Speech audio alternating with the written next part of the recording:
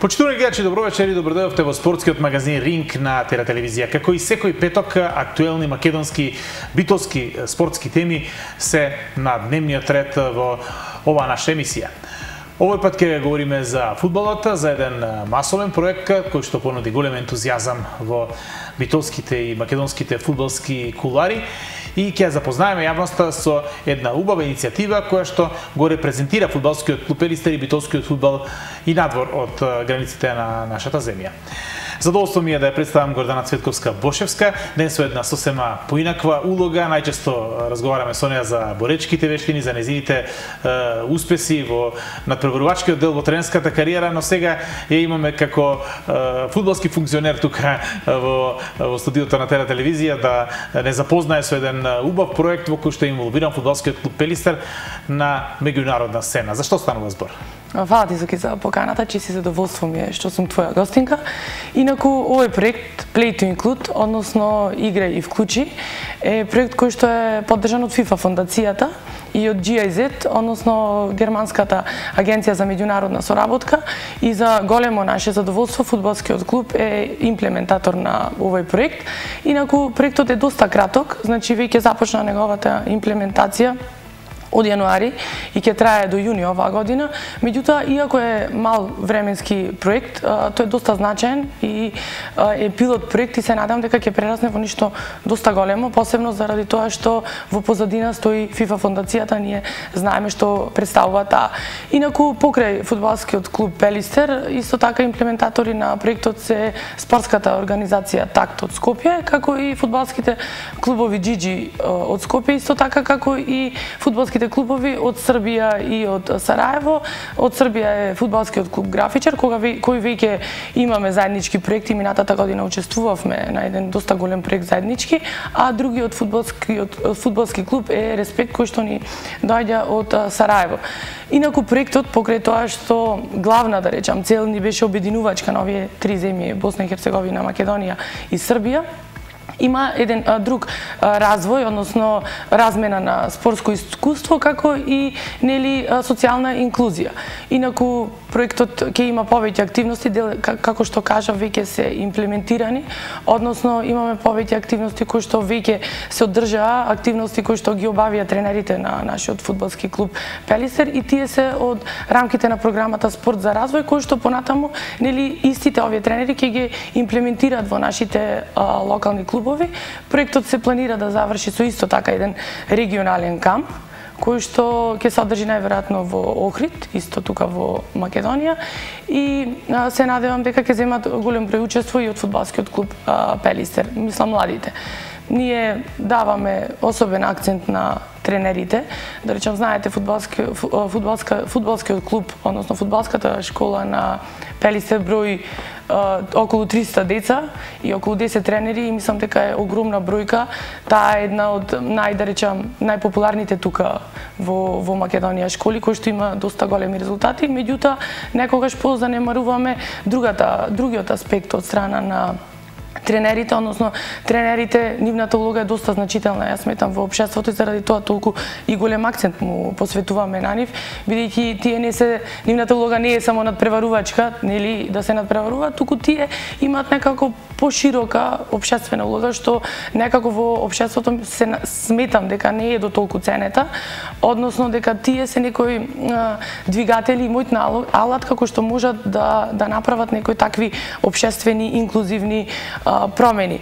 Ова овој проект, односно оваа програма кој што поведува од спорт за развој, има две компоненти, односно психофизички развој на децата, покрај тоа што се задржуваме на физички развој на децата, односно нели велиме дека е многу важно тренерот да знае правилно да дозира согласно да речам возраста на детето, исто така е важно и психичкиот развиток кој што една работа без друга не може. Токму да речеме и целта на на овој проект. Знаеме ние колку и, и проектот, да речам, потенцира колку е таа возраст кај децата од 7 до 10 она златна возраст што викаме дека најважно е тренерот да обрни внимание на на психомоторичките способности, на развој на психомоторичките способности, што понатаму нели посебно во случајот кога разговараме за фудбалот, ќе ќе биде како една база што понатаму може да ги усоврши тие по по да речам по специфични фудбалски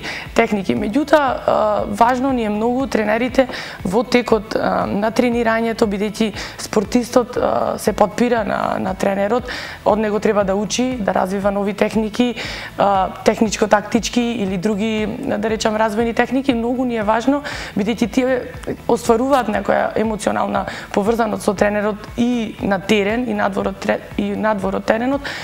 Важно ни е како тренерот се однесува со нив. Односно, сакаме да му потенцираме дека нивното влијание врз животот на детето е понатаму доста важно.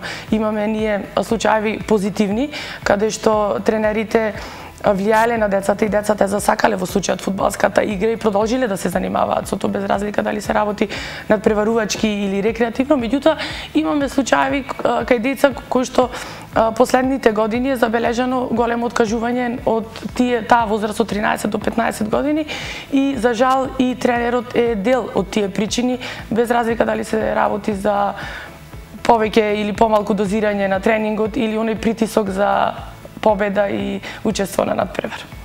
Како реагира фудбалскиот клуб Пелистер кога го представивте проектот и да се навратиме на е, улогата на тренерот, на педагогот во овој случај? Е, имаме ли ние кадар кој што може да биде е, така компетентен и е, да одговара на, на местото и улогата?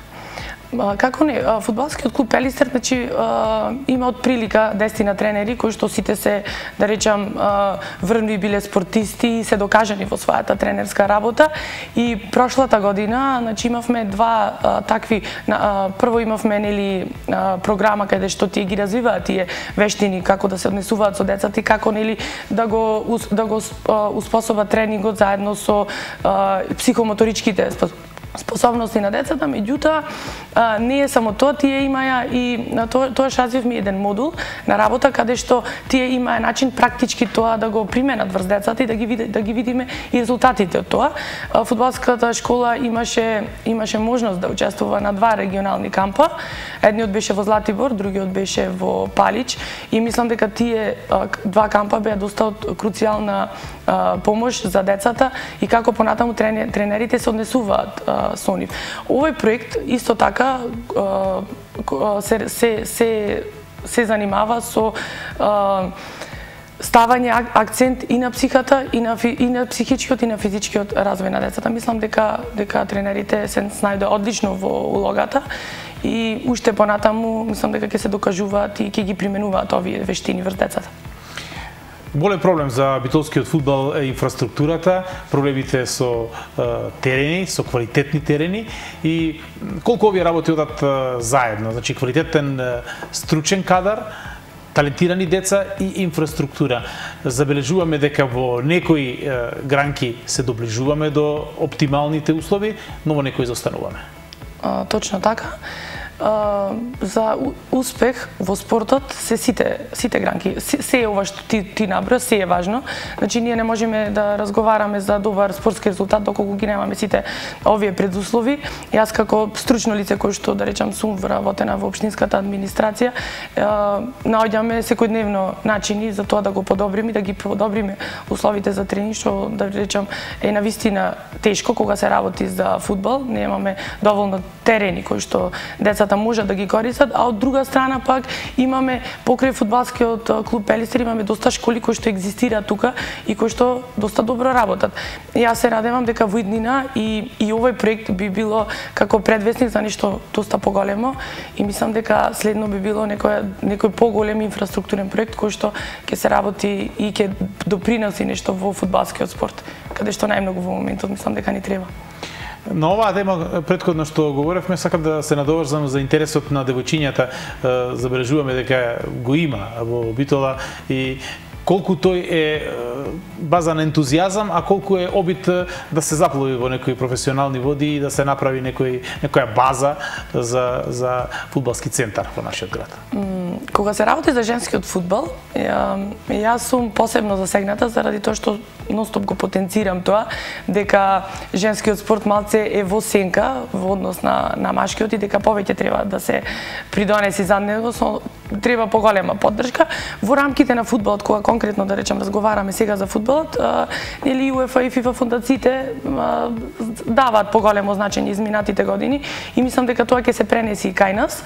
И обично секогаш оди од повисоките институции на пониските сметам дека и така и кај нас ќе биде и дека ќе имаме поголема поддршка прво од федерациите, после и секако од локално ниво. И масовноста е мислам дека клучен и за квалитет, значи Значи, без масивно, масовност не можеме да имаме квалитет. И ме радува тоа што имаме два женски клуба во во Битола. И мислам дека сме еден од ретките градови кои што имаат два женски клубови. И се надевам дека ќе продолжат да екзистираат, а општината дека ќе им нуди уште поголема помош на истите. Околу поврзаноста на училишниот спорт со овие проекти и со е, фудбалските школи конкретно во нашиот град, е, колку е таа блиска поврзаност и се низ историјата гледаме случаи во кои што добро, доброто проектирање од масовниот училишен спорт до почетокот на професионализмот е вистинскиот начин како да се да се гради една спортска личност. Докаде сме на ова ниво бидејќи забележуваме дека имаме многу млади момчиња и девојчиња кои што уште од рана возраст започнуваат со дејство спорт, но многу од нив и попат и го губат ентузијазмот заради разно разни причини. Разни причини, точно. А, значи поврзаноста е на училишниот спорт со посебно да речем со овие со фудбалските спортови доста тесна заради тоа што а, тие се таа таа рана желба да речем може најпрво да проникне од наставникот, па потоа нели да се ориентираат во фудбалските клубови кои што се кај нас во Битола. Ние како можам да кажам и како општина, значи посебно обрнуваме внимание на училишниот спорт и го поддржуваме и тоа се работи на два дела каде што едниот дел е поддршка на програмата која што ја нуди Федерацијата на училишен спорт. Од оваа година можам да се пофалам дека вклучивме и универзитетски спорт за прв пат во програмата на Обштина Битола. Заради тоа што секогаш универзитетскиот спорт беше ставан малку настрана и она ти што го кажа нели кога ќе се наполнат некои години без разлика дали претходно разговаравме од 13 до 15 некои откажување имаме после завршувањето на средно образование односно прикинување со занимавање со физичка активност кога ќе се да речем кога ќе се почнат тие универзитетски денови. А од друга страна па имаме програма каде што ги поддржува училишните спортски клубови, односно а, сакавме во ние во рамките на спортот да ги потенцираме а, да ја потенцираме масовноста, односно зголемувањето на спорт на овие деца кои што да речам не се занимаваат со спорт и преку оваа програма ќе има некоја меѓукласно надпреварување и ќе разбудиме желбата нели да се вклучат а, помасовно во а, спортот. Е сега не, не можам да кажам дека дека го имаме постигнато тоа што што сакаме, меѓутоа сме, мислам, на добар пат за тие две работи да, да, да се вклопат и да развијат уште поголеми резултати. Збордва за следните стапки од проектот, што тој опфаќа и каде се ќе присуствува? А, значи, следен чекор сега е тренерите кои што беа на овие обуки да ги а, имплементираат овие активности. Нели тие се некои игри на каде што баш има развој на психомоторички вештини кај децата, меѓутоа тоа е повеќе акцентирано а, низ игра и низ смеа и да се развијат тие вештини и тие ќе ги применат во фудбалскиот клуб Пелистер Следно е а, кампот кој што треба да биде во јуни и во меѓувреме спремаме една голема апликација во која што фудбалскиот клуб ќе Пелисер ќе учествува, се надам дека ќе ни биде одобрена, а во меѓувреме имаме и доста голема поддршка, како што спомнав и од германската агенција за меѓународна соработка GIZ, која што преговараме нели прво да дојде во Битола, а потоа да поддржи голем број наши клубови без разлика дали се работи за фудбал или за некој друг спорт. Значи можеме да очекуваме и ваков тип на проекти во иднина во кои што ќе бидат вклучени битолските спортски клубови. Секако јас јас континуирано да речам работам на тоа и не се откажувам, посебно да речам кога веќе сме на тема фудбал, затоа што е една моја голема пасија.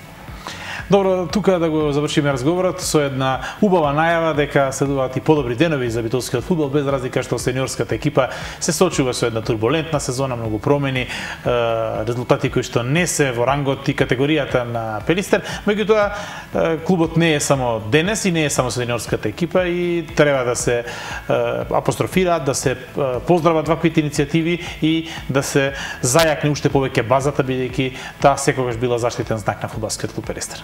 Така да. Благодарам уште еднаш за гостувањето. Се надам ќе се видиме во некоја наредна прилика со вака убави теми и е, причини за задоволство. Фала ти многу за поканата.